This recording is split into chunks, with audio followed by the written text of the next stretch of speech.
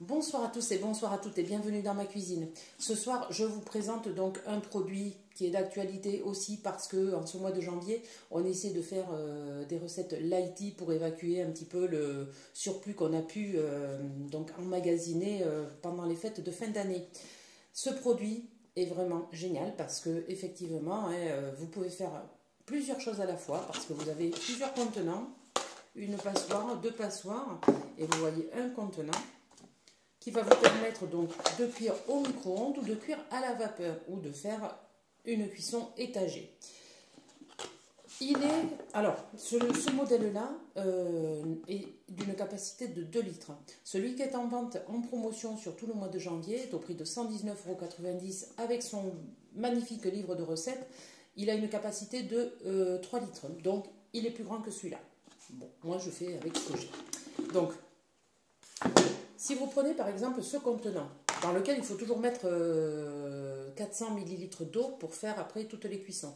Mais si vous le prenez tout seul, vous rajoutez ceci sur le dessus et ce couvercle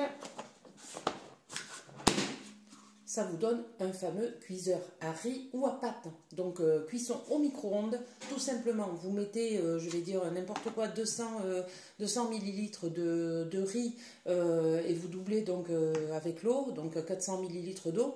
Vous faites votre riz en 10-12 minutes au micro-ondes, nickel. Vous essaierez, je vous jure, pas de souci. Donc ça c'est une des premières fonctions, vous voyez.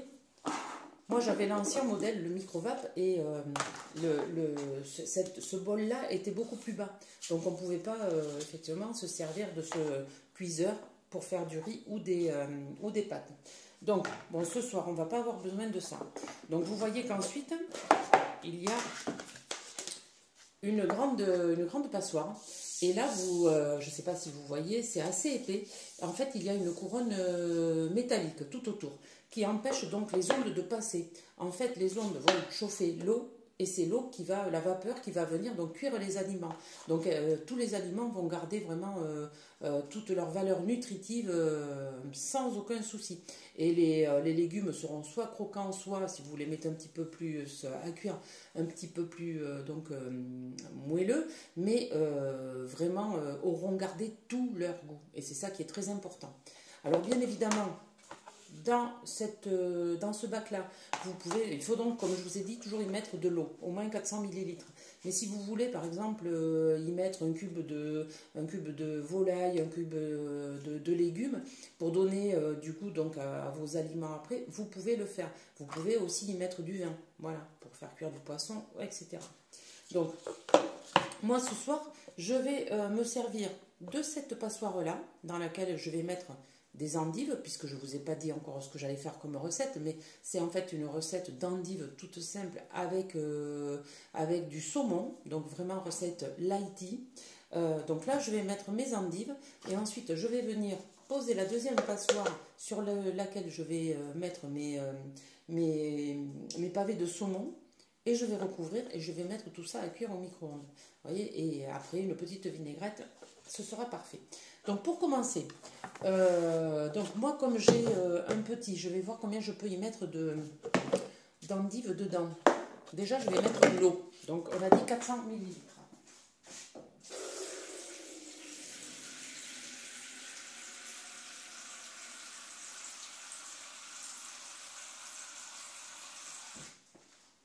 Comme ça, j'oublie pas. Ensuite, donc, je vais prendre mes endives.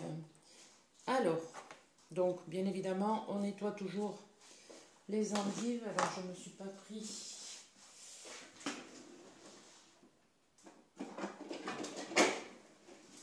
Mon collecteur. Donc, alors, je vais enlever le bout. Je vais bien sûr enlever ici.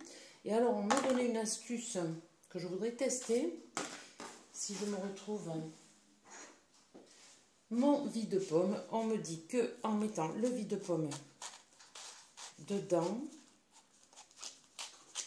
on peut enlever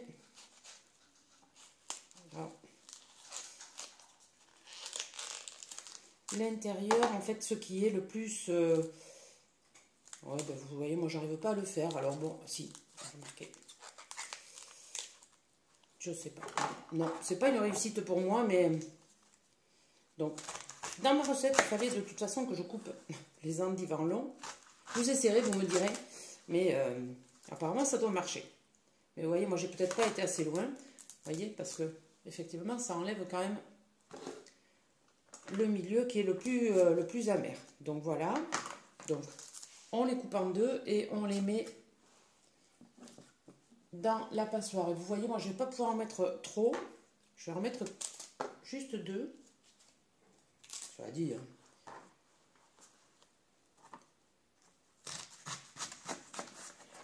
voir si ça fait euh, deux, quatre personnes. Le, plus grand, euh, normalement, euh, a une capacité pour 4 à 6 personnes. Alors, je vais la mettre là. Bon, voilà, je ne vais pas en mettre plus. Donc, vous voyez, je mets mes endives comme ça. Donc, je les mets, bien sûr, sur la partie où j'ai mis l'eau. Ça, c'est pas compliqué. Mais de toute façon, la recette n'est pas du tout compliquée. Donc, on me demande de les déposer. Ensuite, euh, il faut que je vienne faire un jus de citron vert. Alors là, je vais toujours pareil, me servir de mon set 3 en 1. Je vais juste prendre donc le petit ramequin avec le presse agrumes. Bien évidemment, je l'écrase un peu pour qu'il redonne bien son jus. Donc, on me demande juste pour le moment de mettre la moitié. C'est bon. J'adore cette odeur de jus de, citron vert. C'est vraiment... Euh, ça n'a rien à voir avec le citron jaune. Allez. Donc, je vais mettre euh, le citron vert, la moitié donc, sur les endives.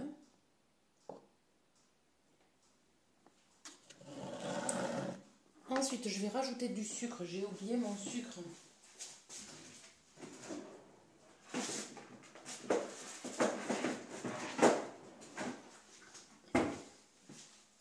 Il faut toujours que j'oublie quelque chose. Donc là, un petit peu c'est-à-dire 5 millilitres, c'est vraiment pour enlever, euh, encore une fois, l'amertume des endives.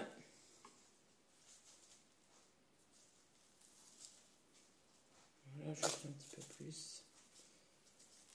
Là. Donc là, nous avons la partie avec les endives. Euh, ensuite, je vais mettre ma ma seconde passoire. Alors, ce n'est pas important, enfin là vous voyez, elle elle jointe pas. Mais c'est pas grave parce que de toute façon, avec euh, la cuisson, les endives vont euh, vraiment s'aplatir et là ça va, ça va bien cuire. Donc, je vais ouvrir mon saumon. Je vais donc venir, alors, petite astuce aussi, je mets une feuille de salade au fond, juste pour pas que... Voilà, ça se fait que le, jus à la limite du, saumon euh, redescende. Donc là, je vais en y mettre deux. Je pense pas en y mettre un. Si, je vais essayer d'en y mettre trois. je le couper.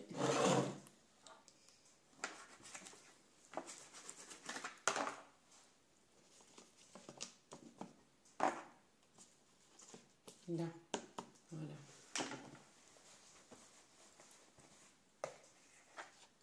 Vous voyez, là, je ne sais pas si vous voyez bien, bon, en fait, le saumon, il est juste mis comme ça. Donc, ensuite, eh ben, il me suffit de recouvrir. Vous voyez, là, vous voyez, tout est vraiment nickel. Et je vais mettre ça au micro-ondes, donc à 850 watts pendant 17 euh, minutes. Voilà, et je vous retrouve de suite après pour faire la petite vinaigrette.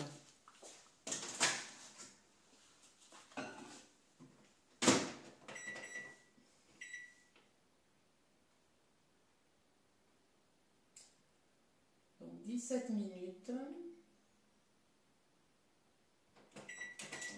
Parti. Alors, maintenant, Je nettoie un peu. Et on va juste faire la vinaigrette. La vinaigrette, donc, je vais prendre un petit shaker parce que c'est pas la peine euh, que j'en prenne un grand. Donc, dans ce shaker, je vais venir y mettre euh, donc, le jus du citron. Donc, je, je vais refaire donc, la deuxième moitié de citron.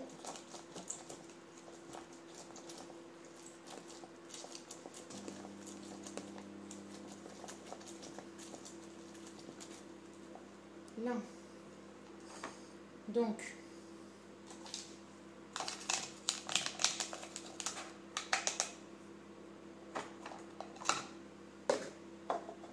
là je verse le jus de citron. Ensuite, il me faut 75 ml d'huile d'olive. Euh, donc, allez.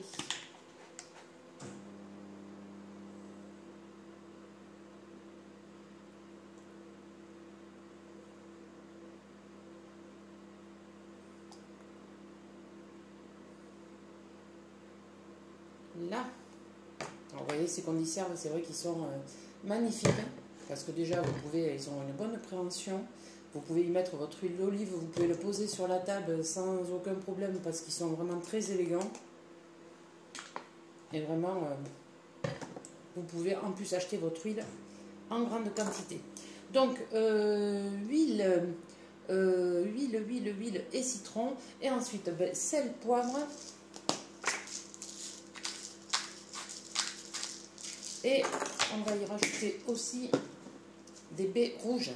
Alors, je sais pas. Ça, c'est pareil. Ouais. Je sais pas si vous les voyez. Donc, on les met dans le moulin.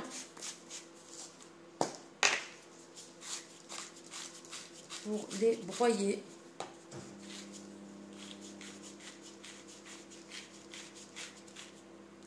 Alors, je vois pas.